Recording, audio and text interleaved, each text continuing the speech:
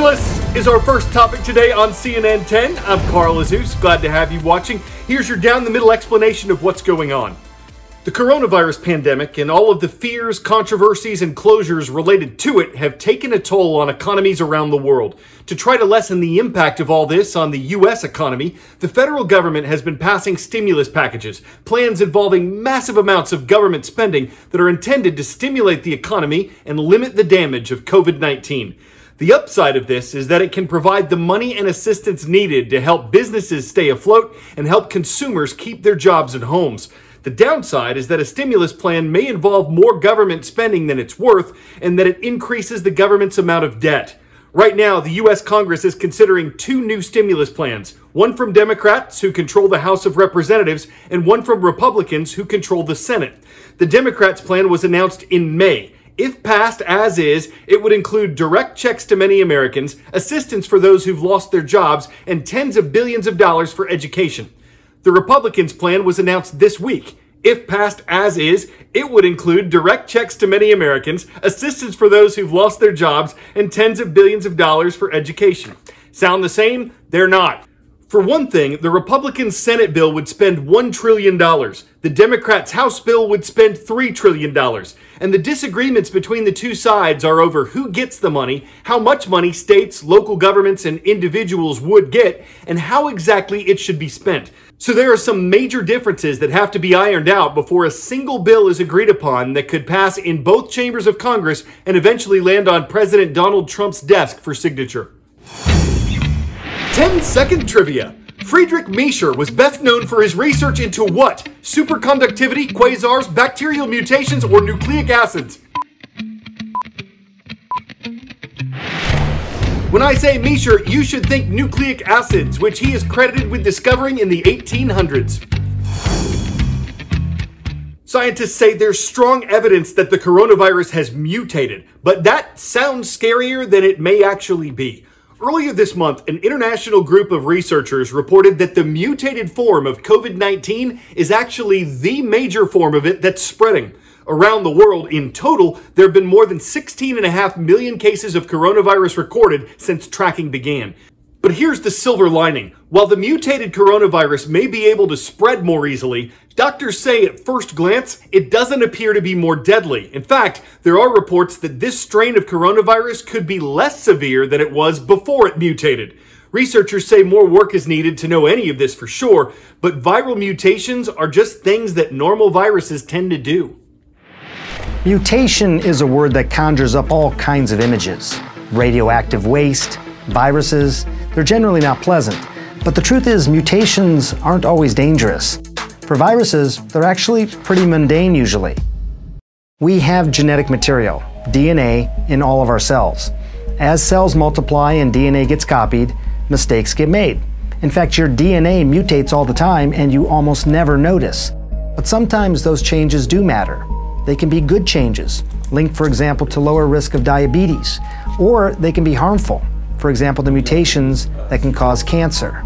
Viruses mutate as well, especially those with genetic material made of RNA. RNA is one strand instead of two strands, and it mutates even more easily than DNA does. Usually, these mutations are neutral or even harmful to the virus, possibly making it less lethal. But this also explains why there's a new flu vaccine every year. Flu viruses constantly change, and these changes can eventually make the virus unrecognizable to the immune system, meaning the antibodies we had from last year's flu shot no longer really protect us. The novel coronavirus has mutated in a way that affects its spike protein.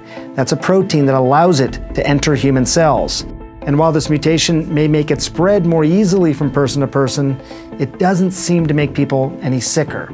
The big question looming on the horizon how might mutations affect our search for a vaccine?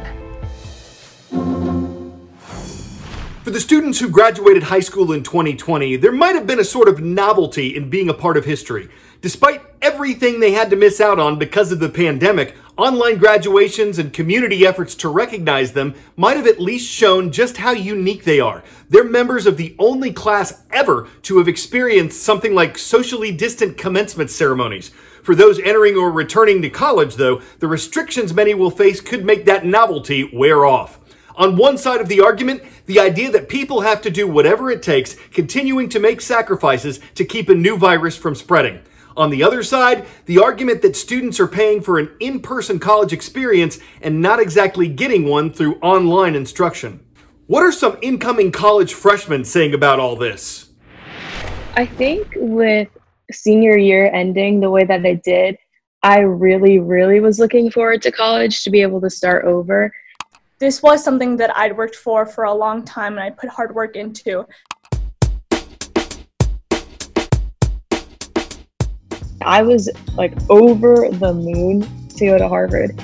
And then over the summer, I thought the pandemic would get better and it kept getting worse once they released the fact that we would have all online classes, I was really, really disappointed. And I remember telling my mom, I was crying to her about how upset I was. I remember telling her I'm not even excited to go to the number one college in the country, even though I should be so, so excited. I'm just sad. I am incredibly aware that I am privileged not just to go to Harvard, but also financially. Um, COVID 19, even though it has affected my family financially, has not affected us as much as some families. And talking with some of my classmates, I know that for a lot of them, uh, actually going to Harvard is the best option because of the generous financial aid that Harvard has given them. I'm really, really lucky to be going to an institution like Harvard that has such a large endowment and resources through its connections because as a low income student, if I didn't have access to all of that, I probably would be staying home this semester. So, my plan is to be there on campus in the fall. Um, when I was debating with my parents, I just told them that if I have any option of having even um, a little taste, I guess, of the college experience, I want that, right? I don't want to be have to give that up. As far as I know, everyone has single rooms all classes are online, and the dining hall is going to be reservations only or takeout. Having a college experience, I just don't think is worth sacrificing the lives or potentially sacrificing the lives of students or teachers. And there's a lot of people we have to consider in this situation. My dad is really big on making the best out of every situation and trying to look at things logically. So he told me, You're not taking a gap year. We can't afford it, but what are you going to do about it? And so I realized that I might as well make an opportunity out of a really, really unfortunate situation. I think it's a commonality within the student body that all of us have an ambition to be something more and to strive for something better. And I see that a lot right now because even though there is a lot of shared disappointment, there's also a lot of reminding each other of the opportunities we will still have and reminding each other of the experiences that we're still very lucky to get. And so I'm still very much looking forward to that, and I still do feel very lucky, uh, despite all this confusion and all the unknowns.